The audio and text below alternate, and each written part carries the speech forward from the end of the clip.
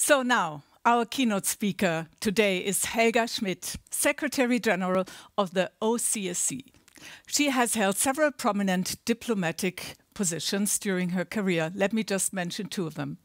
She was Secretary General for the European External Action Service and the Deputy Secretary General for Political Affairs for the European External Action Service. Please welcome here Helga Schmid. Dear participants, they say only a crisis produces change. But is the COVID-19 pandemic a watershed moment for cybersecurity? Surely the digitalization of our world was well underway and accelerating even before the pandemic. Yet, I think no one will doubt that the pandemic has forced us to embrace technology and with it its inherent risks at even greater speed.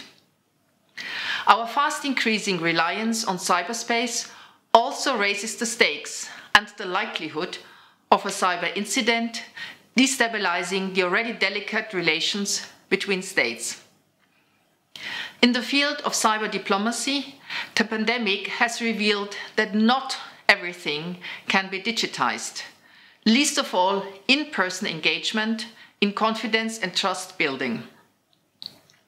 But with more and more professional, political, and diplomatic activities migrating to the digital sphere, the Organization for Security and Cooperation in Europe, or the OSCE for short, has adapted to promoting stability, peace, and democracy in an increasingly online world.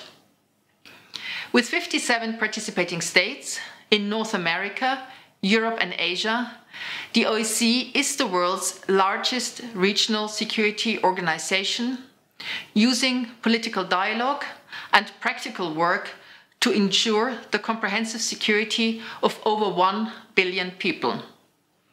Our approach to security encompasses politico-military, economic, environmental and human dimensions.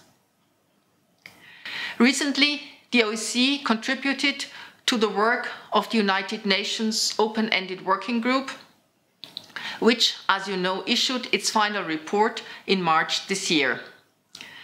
Encouragingly, the report highlighted the important role of regional organizations, including the OSCE, in contributing to cyber stability. So you might now wonder what is exactly the OSCE doing in this field? And why is this contribution so important?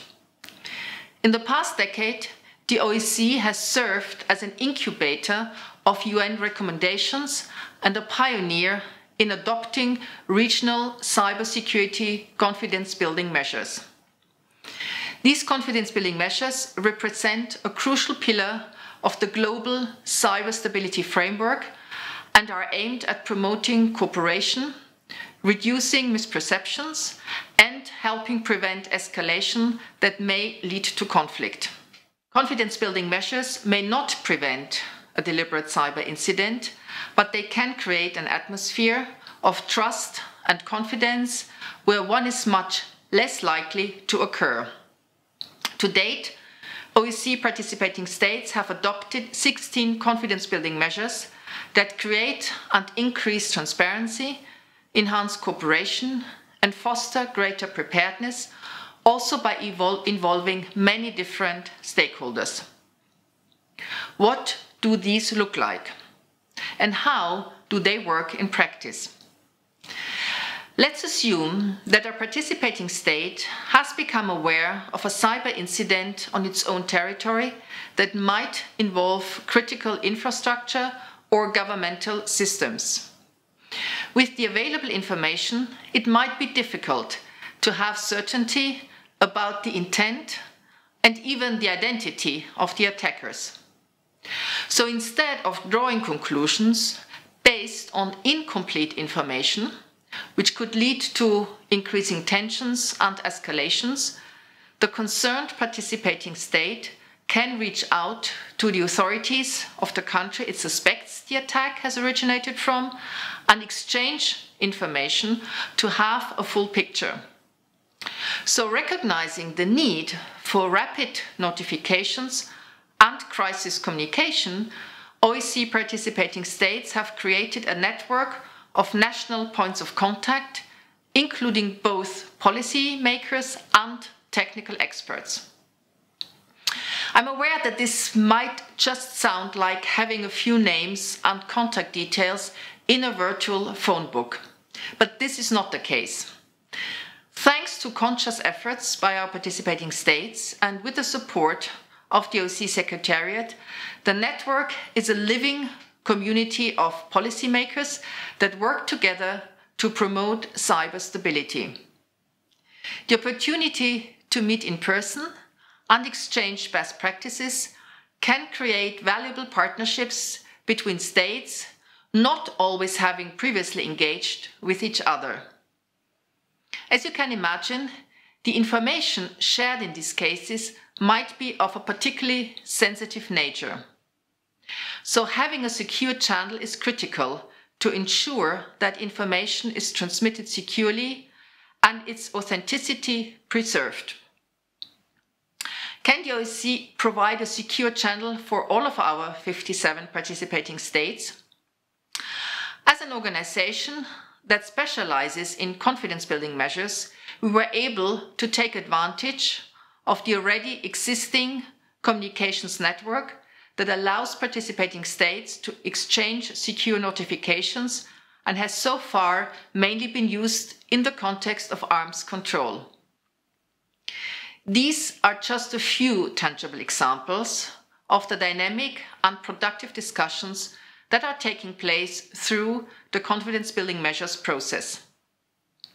States are further using the OSCE as a platform to conceptualize, exchange, and adopt best practices on topics such as critical infrastructure protection and public private partnerships. To further demystify confidence building measures and present the status of their progress, the OSCE recently launched a publicly available e-learning course that I warmly recommend to the audience. Beyond the OSCE framework also, confidence building measures are gradually finding more applications and an ever bigger audience.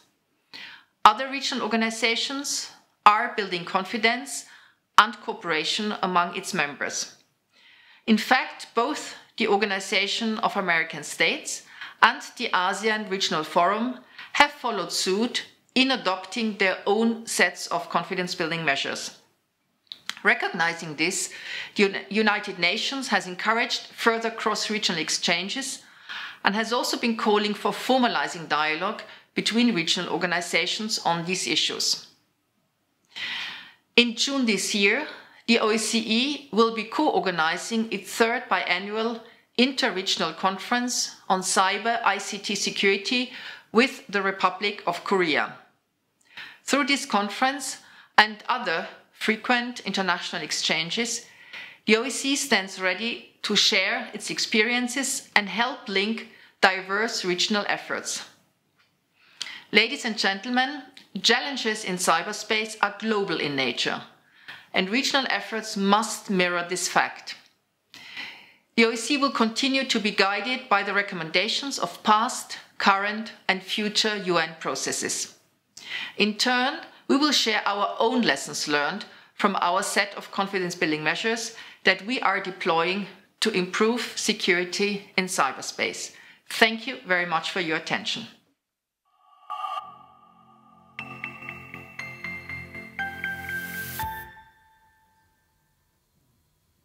Helga Schmid, thank you very much for your explanations and insights.